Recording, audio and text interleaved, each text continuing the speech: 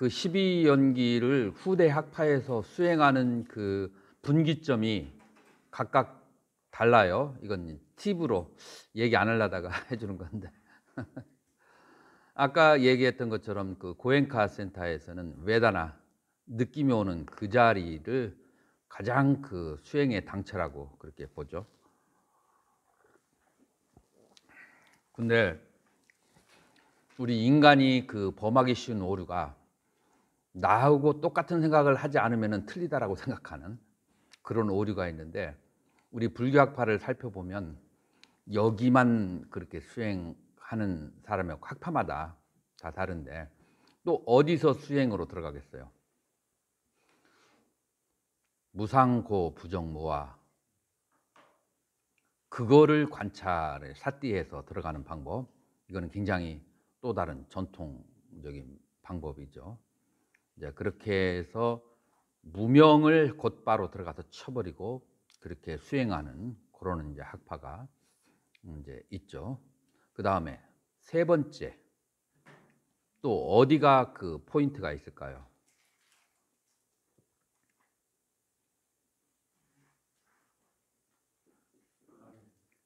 네? 그냥 일반적으로 보편적으로 이 두 개예요. 무명 그 다음에 베다나 이게 이제 그 베, 이제 수행의 방법을 가만히 이제 살펴보면 이둘 중에 하나인데 이제 세 번째 방법은 찌따하고 째따시크를 분리하는 그런 이제 수행 방법이 있어요. 찌따와 째따시카를 그러니까 심과 심소. 그러니까 심과 심소는 분리가 될 수 있을까요, 없을까요? 동시생 동시멸이에요. 그런데 그렇기 때문에 하나가 없이 하나만 일어나지 않아요. 근데 the weight 그 알아차림을 어디다가 할 것인가?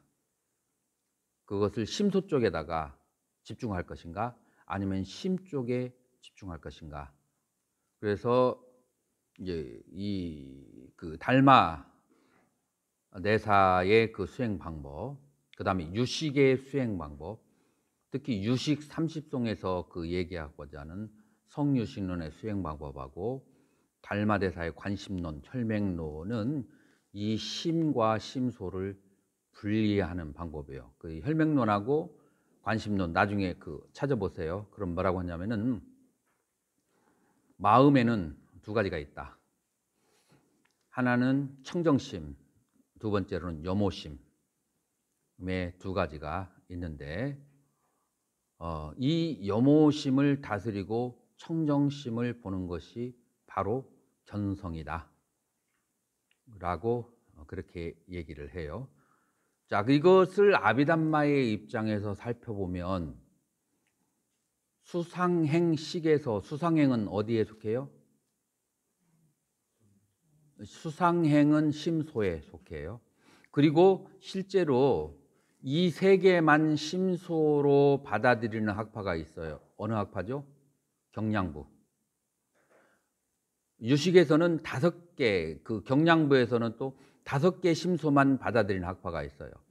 수상행에다가 쨌다나 의도하고 마나스카라 마음의 기울임 이 다섯 개만. 그래서 이 심소를 그 후대 학파에서 다 받아들이지는 않아요.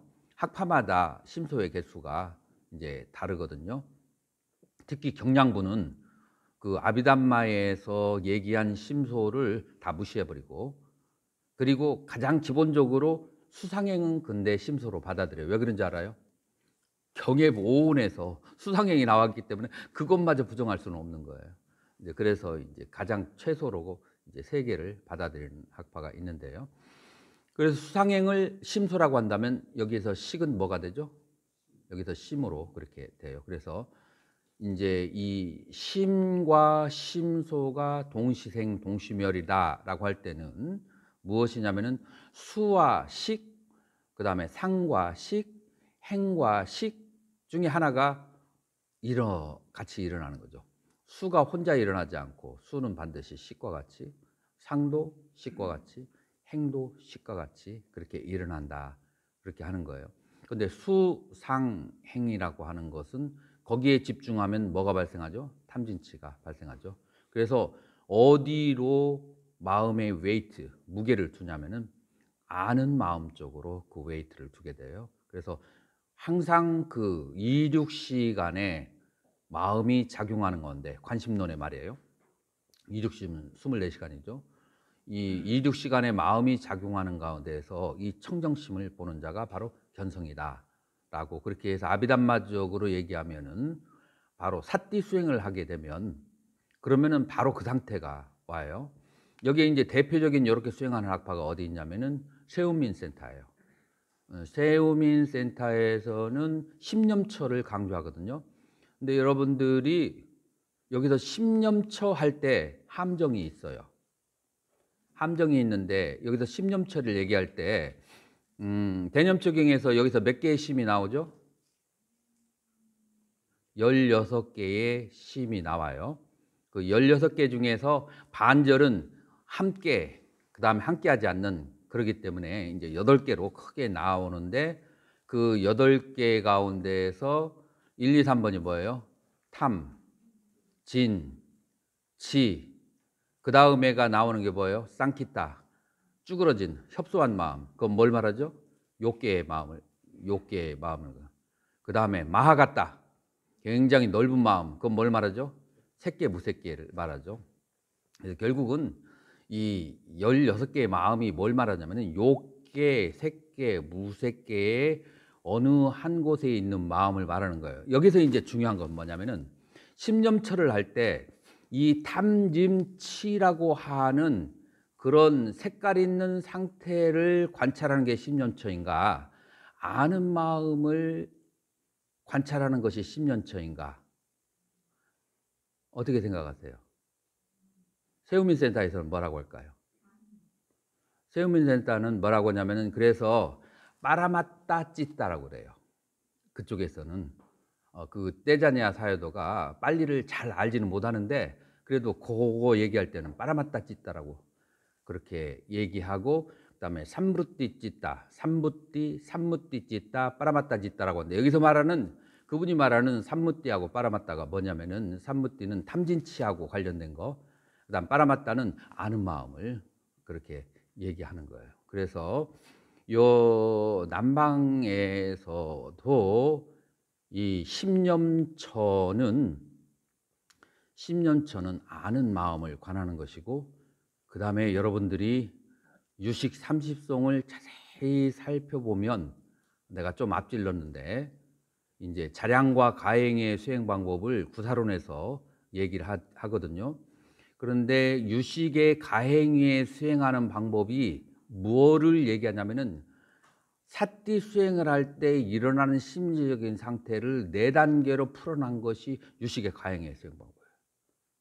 어, 그렇기 때문에 이 사띠 수행하는 것이 굉장히 여기에서 어, 중요한 저기 역할을 하는데 이 사띠 수행이 십념초로 갔을 때는 무엇이냐 하면은 아는 마음하고 알려진 내용으로 나눠지고 이것이 그대로 연결된 게 유식의 자량과 가행의 수행 방법이고 그 다음에 달마대사는 어느 학파에 속하죠? 왔을 때 해가 대사에게 이런 말을 해요. 이 이쪽에 와 보니까 대국에 와 보니까 어, 경전을 봐도 제대로 안심민명할 경전은 없는데 딱 한 것이 하나가 있다. 뭐냐면 능가경. 그래서 이 능가경을 종지로 삼고 공부를 해라라고 그, 그 사식권 그 능가경이죠. 알마대사 가져온 것은 그리고 능가경은 어디에 속하죠? 유식에 속해요. 그리고 그 후에 이제 나와 있는 이제 어, 혈맹론과 관심론. 어, 뭐 학자들은 이런 말도 해요. 이건 달마대사가 쓴 것이 아니다. 그럴 수도 있어요. 근데 달마대사의 제자들에 의해서 쓰여질 수도 있는 거죠. 어, 그래서 어, 일단 이제 그렇게 서로 연결이 되어서 그게 어디까지 간다고요? 손종으로 간다고요. 그래서 어디에서부터 시작해서 사띠의 수행으로 시작해서 어떻게 아는 마음과 알려진 내용, 수상행과 식을 분리하는 데에서부터 아, 그렇게 어, 얘기가 나오는 거죠. 그래서 신신여명에 뭐라고 나오냐면은 지도는 무난이다. 지극한 돈 어렵지 않다. 단막 증해하고 그 다음에 위험 간택하면 증해는 오온 가운데 어디에 속하죠? 뭐 수 혹은 행에 속하죠. 증에는 그 다음에 어, 유혐 간택 간택은 어디에 속할까요? 상에 속하죠. 간택하는 것은 상에 속하죠. 그래서 수, 상, 행 그것에 빠져가지고 이분법으로 나가지 않으면 그러면 돈은 저절로 보인다.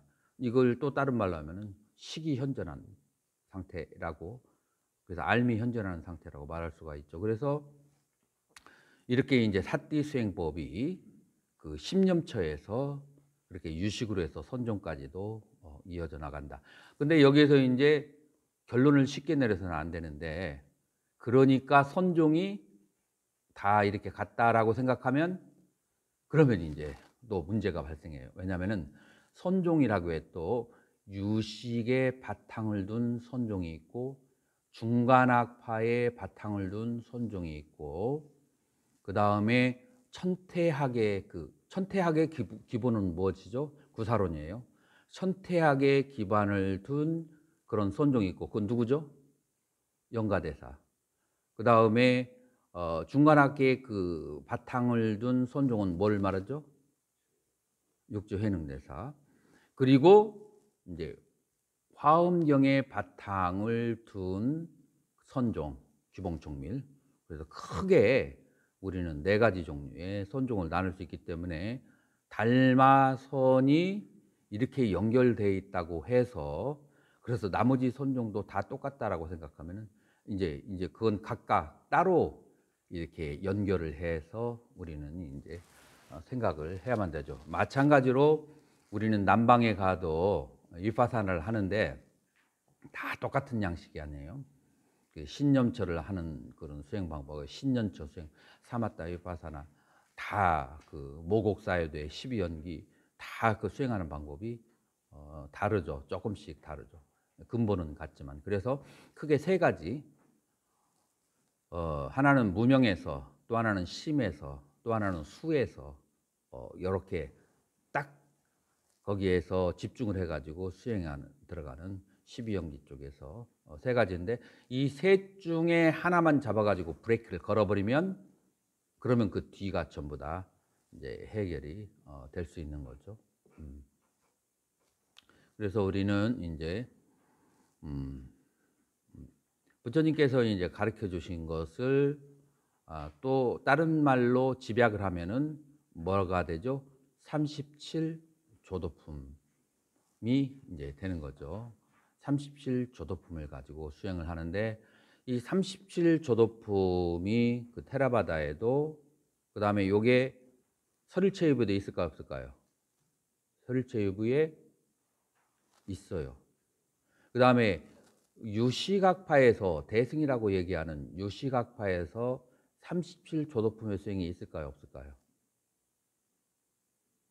한번 때려잡아 보세요. 있어요? 아, 있을 것 같다고 생각하는 게 아니라 뭐 기억 기억 나는 거 있어요? 찍은 거예요.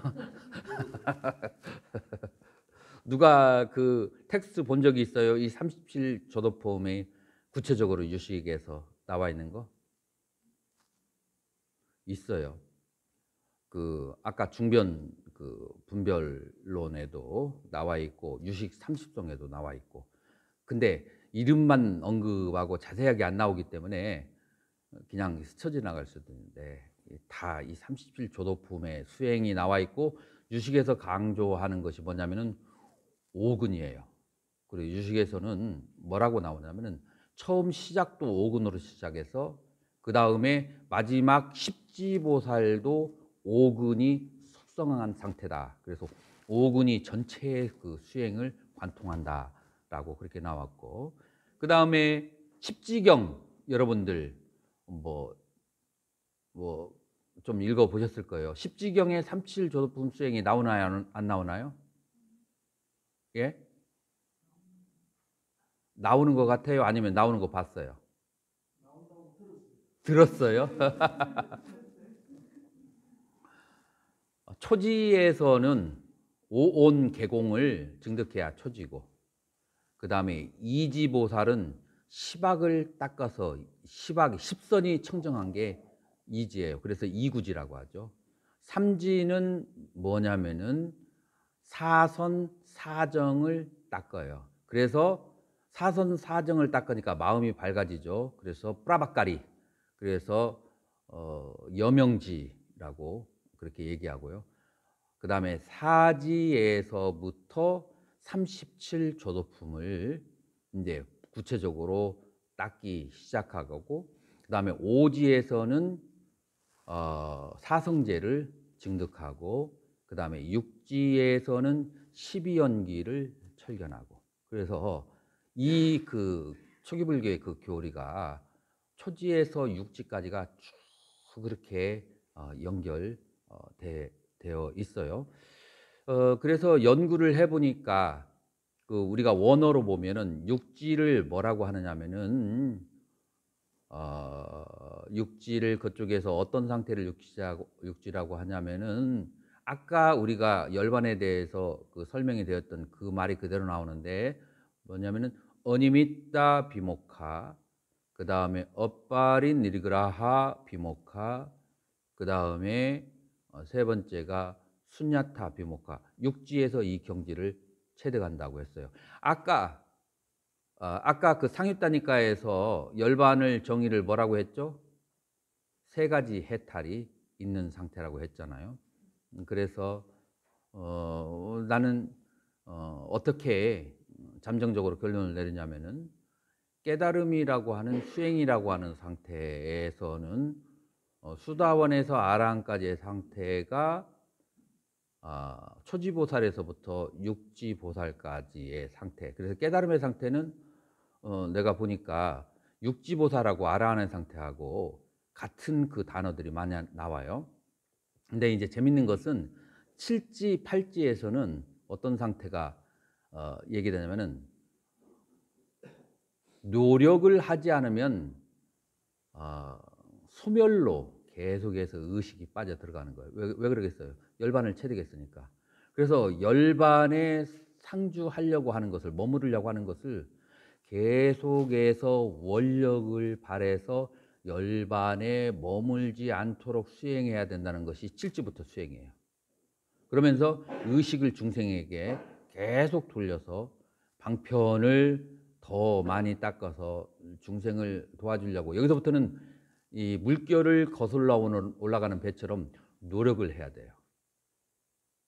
그 이제 그런 이제 차이가 있죠. 그래서 이제 이런 부분까지 우리가 살펴보게 된다면 육아 중간 학파는 말할 것도 없고요. 어, 지금 이 그 37조도품의 그 수행 방법, 이 수행 방법이 불교 전체를 관통하고 있다. 이제 그 중에 이제 가장 대표적인 것이 사념처와 오근이라고 그렇게 말할 수가 있어요. 음, 이제 여러분이 잘 알고 있는 것처럼 37 어, 조도품 보디바키아 담마죠. 그래서 사념처 사정근 사여의족 오근 오력 칠각지 팔정도라고 그렇게 얘기할 수 있는데 우리가 자세히 살펴보면 사념처, 사정근, 사여의족, 오근, 오력, 칠각지가 전부 다 어디에 들어가 있어요? 팔정도 안에 각각 자리 잡고 있어요. 그래서 37 조도품을 줄이면 8 정도가 된다라고 그렇게 얘기할 수 있어요. 자, 사념처는 어디에 들어가요? 정념에 어, 들어가게 되죠. 사정근은 어디에 들어가죠? 정정진에 들어가게 되죠. 사여의족, 사여의족은 어디에 들어갈까요? 정정에 들어가고 그 다음에 오근과 그 다음에 오, 어, 아 칠각지는 어디에 들어가요? 칠각지는 사선 사선의 마지막에서 어, 칠각지가 어, 칠각지가 있은 다음에 아 정념을 성취하고 그 다음에 정정에 가는 단계가 바로 칠각지죠. 그래서 정념에서 정정을 아우르고 있는 게 음, 칠각지가 아, 되는 거예요. 자 그러면 이제 우리가 이제 오근과 오력만 알면 되는 거죠. 자, 그래서 나머지는 뭐 너무나 어, 자명하니까 어, 우리가 지나가고 오근과 오력은 이제 조금 관찰을 해볼 필요가 있어요. 그래서 오근 중 첫째가 바로 사타, 어, confidence, 신뢰, 신뢰죠. 요 신뢰는 믿음하고 faith하고는 다르죠.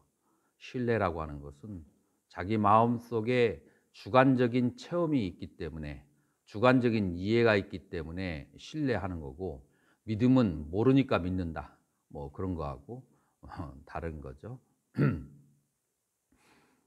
자, 그러려면은 부처님에 대한 믿음이 있어야 되는데 부처님이 가지고 있는 이제 육불공변에서부터 나중에 구사론에서는 18불공변까지 나오는데 가장 초기적인 그 형태가 바로 이제 파티삼비다마카의 여섯 가지가 어, 그렇게 나오죠. 그래서 중생들의 다섯 가지 근기를 아는 힘. 그래서 다섯 가지 근기가 뭐죠? 오근이죠. 그래서 신, 정진. 어떤 사람은 믿음이 강한 사람이 있고 어떤 사람은 지혜, 정진, 그 다음에 알아차림, 그 다음에 삼매, 이제 다 다섯 가지의 성향이 다른 사람들이 있는데 그것을 아는 지혜 부처님이 가지고 계시고 그 다음에 중생들에게 가지고 있는 잠재적 번뇌를 아는 지혜가 있고 그 다음에 쌍신변이라고 해서 물과 불을 동시에 일으키는 지혜.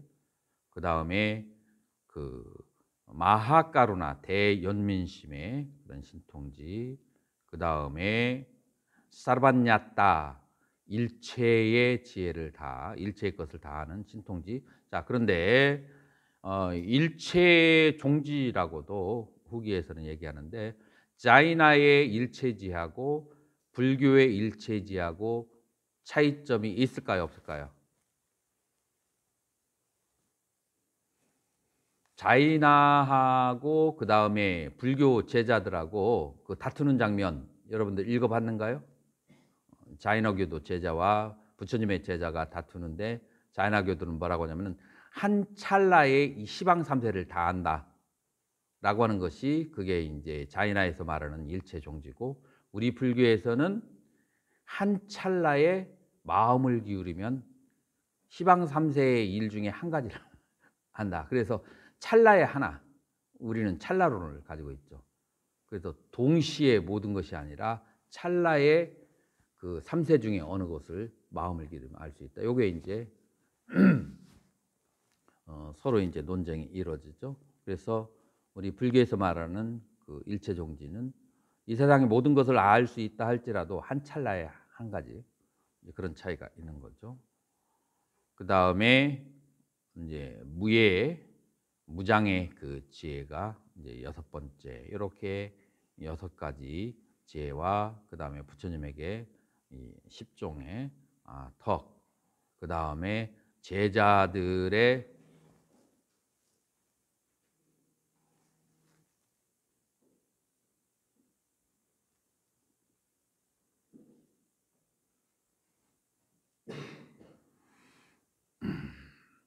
제자들의 상태를 아란이 되었는지 안 되었는지를 알 수 있는 지혜가 아란들에게는 없어요.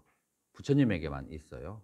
어떻게 이제 부처님께서 아란이 되었는지 안 됐는지를 체크를 하냐면 첫 번째 짜따로 보아라로 가죠. 그래서 네 가지의 그 일상적 경험 속에서 판단을 하는데 아라는 보거나 듣거나 느끼거나 아는 것, 뒷 다, 숫다, 묻다, 위냐다에 집착하거나 싫어하지 않는 것을 보고 아, 이 사람은 아란이구나 아니구나라는 것을 알고 두 번째 오치원에 대한 집착이 있는가 없는가로 아란인지 아닌지를 알 수 있고 그 다음에 여섯 가지 감각기관이 색성향 미촉법에 대해서 집착이 있는가 없는가로 아란인지 아닌지를 알 수가 있고 그 다음에 아와 아소 나나 나의 것이 있는가 없는 것으로 그렇게 아란을 알 수가 있다. 그래서 그 다음에 네 번째로는 이제 그 육군과 그 다음에 육군 내입처와 그 외입처하고 예, 외입처와 내입처에 대해서 집착이 있는지 없는지 어, 그렇게 해서 음, 어, 우리는 어, 아라한인지 아닌지 어, 그런 것을 아, 알 수가 있죠. 음. 그 다음에 어, 해탈과 해탈직연, 그 다음 비무띠 냐나 다사나 그래서 해탈을 했어도 해탈했다는 것을 아는 그런 지혜. 이제 그래서 이 두 이것으로서 또 부처님께서는 아라한이 되었는지 아닌지를 그렇게 알 수가 아, 있는 거죠. 그래서 어, 우리는 다섯 다섯 가지예요.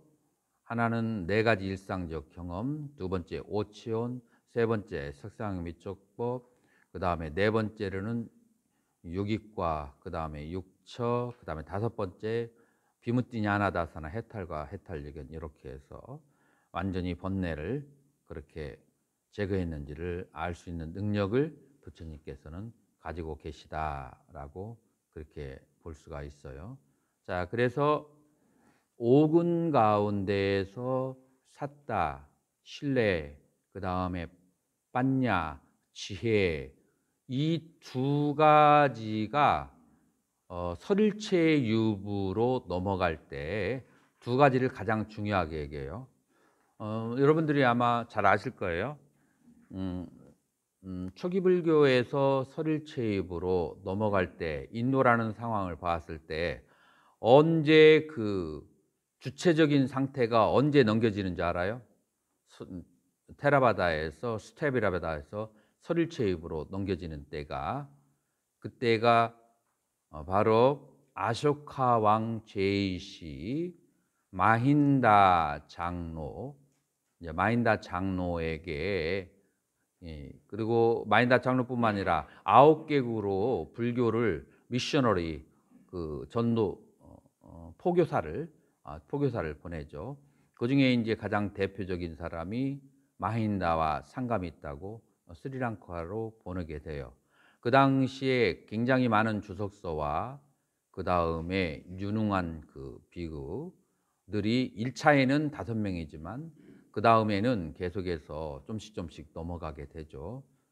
이제 그렇게 해서 그 아쇼카 왕 이후에는 아쇼카 왕 이후에는 테라바다가 인도의 역사의 전면에서 사라지고 그다음에 기원전 2세기서부터는 이제 누가 등장하기 시작하냐면은 까짜야나 까짜야니 푸트라 가전년이 등장하면서 그 사람이 설일체 유부의 그 학파를 이제 세우게 돼요. 그래서 사르바니 다르마니 어, 모든 법이 뜨리니 깔레수 3세의 아스티 존재한다. 그래서 3세 시류의 법을 내세우면서 그러면서 그 학파가 인도의 가장 주도권을 그렇게 잡게 되고 우리는 네 번째 결집의 주도권을 가진 어, 협존자하고 그 다음에 또 누가 있죠? 또 한 분이 계신데 굉장히 유명한 세우존자. 이때가 이제 사차 결집면 이분들이 전부 다 어느 학파 사람이냐면 설일체유부의 학파. 그래서 그 이후에 마인다 장로가 스리랑카로 전법을 하러 가면서 그리고 마인다 장로의 스승이 그런 예언까지도 했어요. 앞으로 인도에서 불법이 사라진다. 그래서 그 불법을 남겨주기 위해서 스리랑카로 보낸다. 그런 예언까지도 그것이 후기에 나왔는지 아니면 그 당시에 정말 그랬는지는 그알수 없어도 하여튼 그런 말이 있었다는 것은 후기에 나왔다 할지라도 불법이 이제 쇠퇴해지기 시작했다는 것을 이제 말하는데 그 불법은 무슨 불법이냐면은 스테비라바드 테라바다의 불법을 말하는 거예요. 이제 그리고 그 다음에 역사의 뒤안길에서 어, 인도 역사의 뒤안길로 가면서 등장한 것이 이제 설치부가 가장 그 후에 오랫동안 마청 노릇을 아, 그렇게 했죠. 자, 그런데 이 설일체 유부에서는 세월이 흐르면서 간소화하기 시작해요. 5군에서 5군 중에서 두 가지를 딱 그렇게 정리돼서 수행하는 방법을 하는데 그게 뭐냐면은 아, 어, 그 믿음, 그 신뢰를 통한 그 수행 방법과 그 다음에 두 번째로 빤냐 지혜를 통한 수행 방법 이 두 가지로 딱 정리를 하게 되는데 그건 구사론에서 이제 우리가 아, 볼 수가 있어요. 그래서 오근과 오력의 차이점은 무엇인가 하면은 오근이 해야 되는 것은 밸런스를 맞춰주는 역할이에요. 무엇의 밸런스인가 하면은 좌우의 밸런스예요.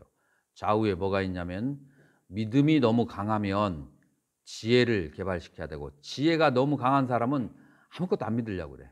그런 사람은 어느 정도 믿음을 개발시켜야 되고 그래서 믿음과 지혜 사이의 밸런스를 갖춰야 되고 그 다음에 삼매가 강한 사람은 방 안에 가보면 조금 그 이렇게 지저분해요. 그래서 노력을 잘 하지 않아. 그 외면적인 삼매형들은 그 다음에 위리야 노력을 많이 하는 사람 방 안이 깨끗한데 계속해서 뭘 해야 될 것을 막 찾고 막 분주하게 다니기 때문에 마음이 안정을 못 찾아. 그래서 노력형은 삼매를 잘 얻지를 못해요. 그래서 노력과 삼매 사이에서 밸런스를 찾아주는 것을 누가 사띠가 알아차림을 하는 거죠. 그래서 오근의 기능이라고 하는 것은 뭐냐면은 좌우에 있는 것들이 밸런스를 맞추어서 건전한 차분한 인격을 이제 갖게 하는 것. 왜냐하면은 한쪽이 너무 강해지면은 떠버리게 되거든요. 너무 지나쳐 버리게. 너무 믿음만 강조하고 그까지 알아서 뭐해 그냥 믿으면 되지. 이제 이런 사람들은 나중에 구사론에서는 뭐라고 하냐면은 아란이 되어도 믿음으로 아란이 된 사람은 뒤로 떨어진다. 아란 테타론이 나와요. 우리 아라한 테타론이 불교 역사 속에서 언제 나오죠? 우리는 2차 결지 대천의 오사에서부터 얘기하잖아요. 그런데 음, 경량부나 혹은 이 테라바디는 아라한이 퇴타하는 거에 대해서 믿지도 않고 다루지도 잘 않아요. 음, 그런 것은 있을 수가 없다고 하는데 설일체 의부는 인도라는 역사의 현장에 살았잖아요. 그러면서 500년 이상을 리드를 하고 왔기 때문에 이게 실제적으로 일어나는 이 문제를 다루지 않을 수가 없어요. 그래서 이분들이 달아보니까 어떤 아라한들이 뒤로 물러나냐면은 믿음을 통해서 간 아라한들은 뒤로 물러남이 있기도 하고 지혜를 통해서 얻은 아라한은 뒤로 물러남이 없다. 그렇게 이제 구사론에서는 이제 분류를 또 하기도 하죠. 그것도 구사론에 갔을 때 좀 더 자세하게 이제 알아보도록 하고요. 그래서 오근이 가지고 있는 기능은 밸런스예요. 그러면은 오력이 가지고 있는 기능은 무엇인가? 오력을 이제 균형을 잘 잡은 다음에 균형을 잘 잡은 다음에 아, 우리는 어, 바른 믿음은 어, 어디 팔정도 가운데 어디에서 바른 믿음이 필요하죠? 팔정도 가운데 정견을 정견을 성취하는데 믿음이 필요해요. 어디, 어, 어디에 믿음이 필요하죠? 인과에 대한 믿음. 그래서 인과에 대한 믿음은 문해에 속하고 인간에 인과에 대해 사유를 거듭하는 것은 사해, 인과를 바로 눈으로 보는 것은 수해라고 그렇게 할 수 있죠. 그래서 음, 최소한 믿음이라도 있어야 돼요. 음, 그런 사유력이나 뭐가 떨어져도 그래서 인과를 믿지 않으면은 불교는 스타팅이 안 돼요. 어, 인과를 믿지 않으면은 아무리 나가도 그 자리에 막 그냥 10년, 20년을 그렇게 해도 어, 그 자리에 서게 되거든요. 그래서 인과에 대한 그 믿음, 믿음으로 이제 그렇게 시작을 해서 그 다음에 노력을 하는 거죠. 그 노력을 어떻게 하죠? 인과를 믿었으니까 그러니까 정견을 갖추고 있고 정사를 갖추었으니까 노력을 무엇으로 하느냐면은 말과 그 다음에 몸의 행위와 바른 직업으로 노력을 해야죠. 그래서 정어, 정업, 정명, 정정지는 전부 다 노력 각지에 속한다고 볼 수 있어요. 그래서 오군 중에서 네 가지가 전부 다 어, 물론 이제 정신적인 것도 노력이지만 이제 그 눈으로 드러나 보이는 것이 노력 각지에 그렇게 해당하고 그 다음에 팔정도 가운데 정념이 있죠. 그런 그건 같은 정념이 되는 것이고 그 다음에 정념의 끝자락에 뭐가 발생하게 되죠? 칠각지를 통해서 정정이 발생하죠. 그래서 네 번째 어, 오근 가운데서 정정이 있고 그 다음에 어, 팔정도를 어, 성취하게 되면 정정을 성취하게 되면 여기서 불교가 끝나나요? 여기서 끝날까요? 앞 단계가 더 있을까요? 팔정도 다음에 어, 우리가 흔히 여기서 끝나는 걸로 생각을 그렇게 할 수가 있거든요. 그런데 이건 막가, 마르가 이거는 도를 얘기한 거예요. 팔정토. 도를 통해서 팔라, 과가 와야 될 거 아니에요. 그 과를 사성제 중에서는 뭐라고 할 수 있어요? 멸성제가 어, 되는 거죠. 어, 그리고 이제 그 다음에 어, 팔정도 그 뒤에 오는 것을 그 두 개를 뭐라고 할 수 있어요? 음, 그렇죠. 비무띠하고 비무띠냐나 다사나 그래서 해탈과 해탈직연이라고 하는 그 두 개가 그 과로 얻어지는 그 해가 되는 것이죠. 어, 그래서 어, 우리는 앞에 있는 정경과 정사는 해 가운데 무슨 해에 해당해요? 문해나 사해에 해당하는 것이고 그 다음에 과로서 얻어지는 해는 해탈과 해탈직연이죠. 그래서 나는 막 어, 오랫동안 초기불교를 공부한 어떤 스님들이 왜 개정의 사막이라고 해놓고 마지막 정에서 끝나냐라고 그렇게 질문하는 분들을 나는 남방에 있으면서 좀 많이 봤어요. 특히 남방 스님들도 그런 경우 있어요. 근데 이게 뭐를 잊어버려서 그런지 이게 막가 이게 이게 도를 얘기하기 때문에 정에서 끝난 거예요. 여기서 끝나는 게 아니죠. 이것의 과가 바로 해탈과 해탈 직연이라는 게 어, 있는 것이죠. 그래서 불교는 어, 문해와 사해가 먼저 앞으로 나가고 그러고 난 다음에 개정해라고 한다면 다른 종교에서는 문해와 사해가 앞에 나오지 않고 그냥 실천 위주로 나가는 경우가 많아요. 특히 자인화교, 자인화교는 문해와 사해가 앞에 나오지 않고 바로 실천적인 것을 실천적인 것 중에서 무엇을 앞으로 내세우죠? 신업과 구업 그것을 가장 중시 여기하죠. 자인화교에서는 이제 이런 이제 그 차이가 있는데 바로 이것이 이제 오근에 의해서 우리는 밸런스를 맞추고 오력이 팔 정도의 줄을 타고 흐르면서 힘을 얻기 시작해서 그 힘의 끝이 어디에 있죠? 정과 정정과 그 다음에 비무띠 그 다음에 부무띠 냐나사사나 이게 바로 어, 오력의 끝이 이제 되는 것이죠. 그래서 오력이라고 하는 것은 팔정도를 실천하게 하는 힘, 그래서 번뇌를 어, 물리치게 하는 힘이 오력이라고 한다면 오근이라고 하는 것은 가장 중요한 기능이 밸런스를 맞춰주는 것이다. 그래서 오근과 오력은 또다시 어떻게 어디에 귀속돼요?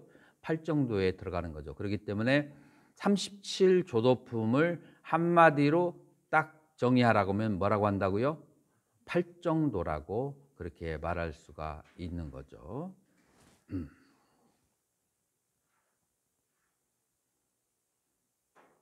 아, 스님이 아까 차 마실 때 우백화 그 질문을 했었죠.